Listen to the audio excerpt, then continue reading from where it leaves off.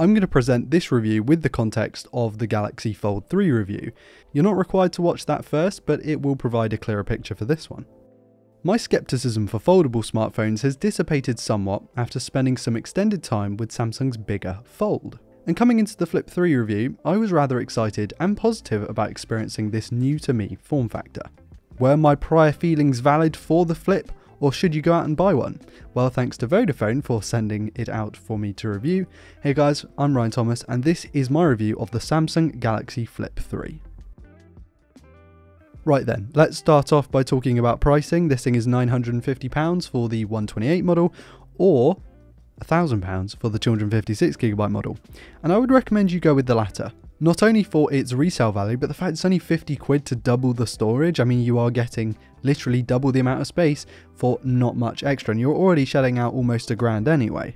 I think given the technology in this smartphone and the fact it's kind of bleeding edge, that's not a bad price. That puts it the same price as the starting model of the iPhone 13 Pro. And whilst that's an objectively better smartphone overall, it doesn't have two screens and one of them doesn't fold. Or should it be flip?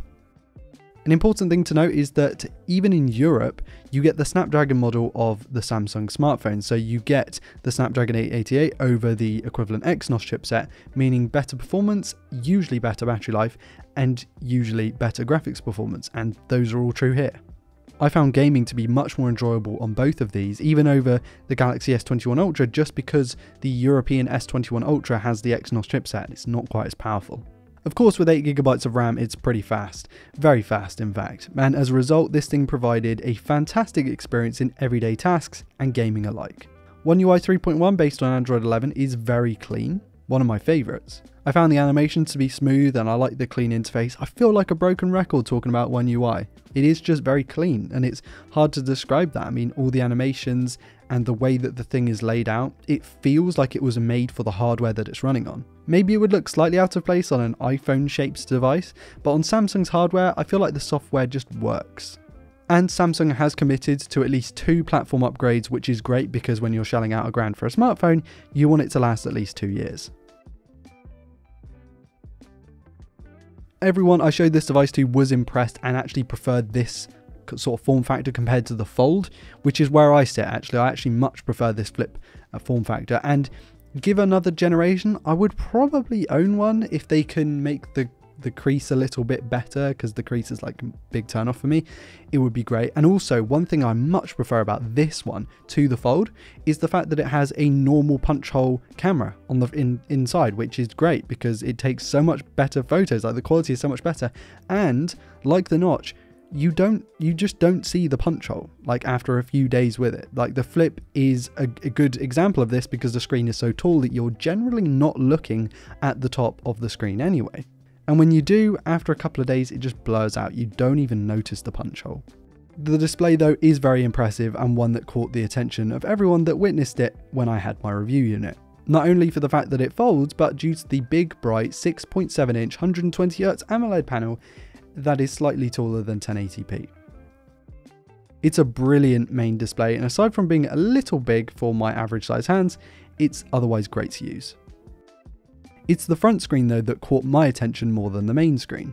It's well placed, of a very high resolution, and kind of felt natural and not like I needed to go out of my way to use it.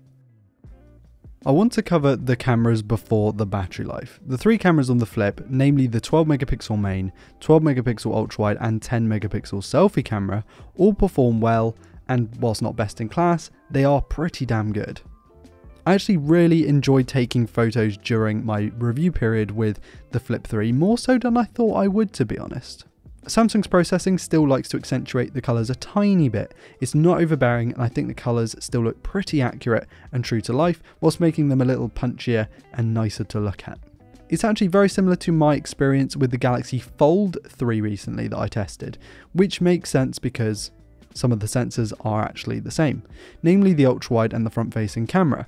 The main camera on here does seem to be smaller of a sensor than the main on the Fold 3, which makes sense, especially given the price and where they sit on the smartphone. As long as you're not a massive mobile shutterbug, this thing takes great photos and I think you'll be very happy with the results. Battery life is to be expected not the best. It's a 3300 mAh battery, and given the 6.7 inch main screen, doesn't quite add up. Of course, you have to allow for more space in a foldable smartphone, so I'm not going to bash Samsung for this. I think it's relatively reasonable. It's just you're not going to get the best battery life out of it compared to something like a 4500 mAh battery that you'd find in the equivalent Xiaomi, but that isn't a foldable.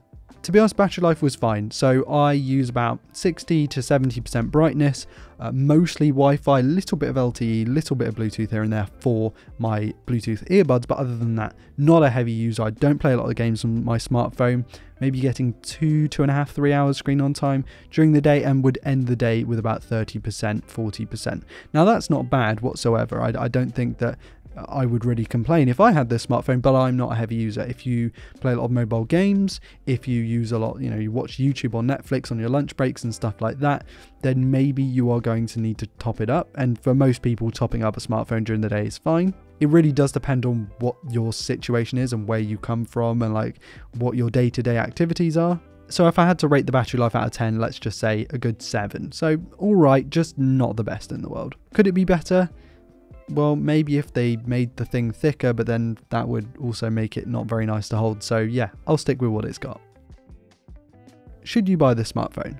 I think you should if you're into foldables. So if I was going to buy any foldable, this would be the one by a country mile.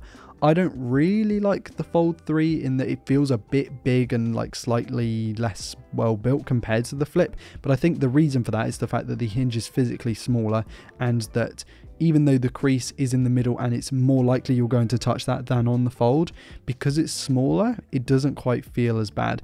And I really like the way that this thing sits in the pocket because it's not tall. And a lot of smartphones are tall these days with the introduction of the high aspect ratio. Means they always stick out of your pocket. And if you bend over and you've got sort of like a short, shallow pocket, then it's just going to fall out. But with the flip, because it's more square than it is long when it's folded, when you put it in your pocket, it sits nicely.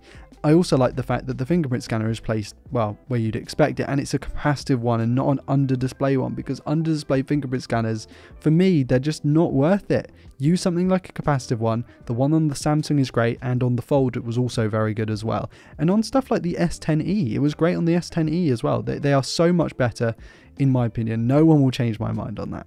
I like this sort of off-white kind of look to it, like the two-tone. I think that looks really great. I think the frame around the outside, whilst it makes the phone feel quite heavy, it does give you more sort of confidence that it's not going to break. The normal punch hole instead of the undisplay punch hole, again, so much better for a selfie camera, just way better. Like we've been doing it for a while anyway. The technology has matured, just keep it like that. And the big thing for me is the fact that you can get one of these in its base configuration for the same price as an iPhone 13 Pro. Now, like I've said in other reviews, the 13 Pro is probably objectively better, but it's such a cool device like the, the Flip 3 and the fact that you get that with the Snapdragon chipset, 128 gigs of storage, it's like a good flagship smartphone but the fact that it's also a foldable display, you know, and, and those things aren't aren't cheap to uh, manufacture and implement.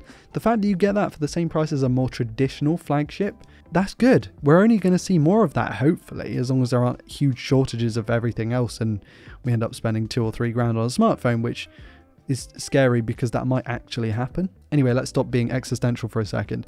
The fact that you can get a bleeding edge tech product for the same price as a normal flagship, for me, that's great. And if I was if I was going to spend like a grand on a smartphone, maybe I'll go for the Flip. It would be between the iPhone 13 Pro and the Flip 3. The Flip 3 is just so cool.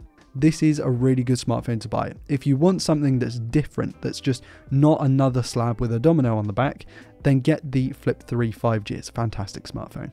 I want to thank Vodafone for sending it out. These guys have been just sending me every smartphone that I've been reviewing.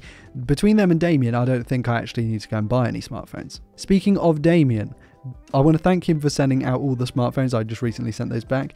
And then he sent me a bunch of smartwatches. So we have, I believe, five smartwatches that I'm going to be reviewing over the next couple of weeks. I'm going to try and sprinkle them in between smartphone content, maybe some game console content, because I've got quite a few of those in recently and we'll try and make it more varied instead of just Vodafone smartphones. Please keep sending them Vodafone, they're great, but I need to disperse them with other things as well. And with all that rambling out of the way, I hope you enjoyed this video. Please like if you did, and if you didn't, dislike and tell me in the comments why. If you're a Samsung fanboy, you can leave right now because we don't like fanboys on this channel. I've made that incredibly clear over the past three years. And I want to give a massive shout out to my patrons for being continually supportive. Thank you so much, guys. Really does help out the channel. And thanks to everyone who interacts with the video, who watches the videos, because you guys are great. And without you, I probably wouldn't be doing this. So with that all said and done, thanks for watching, guys. I've been Ryan Thomas, and I'll catch you in the next video. Peace.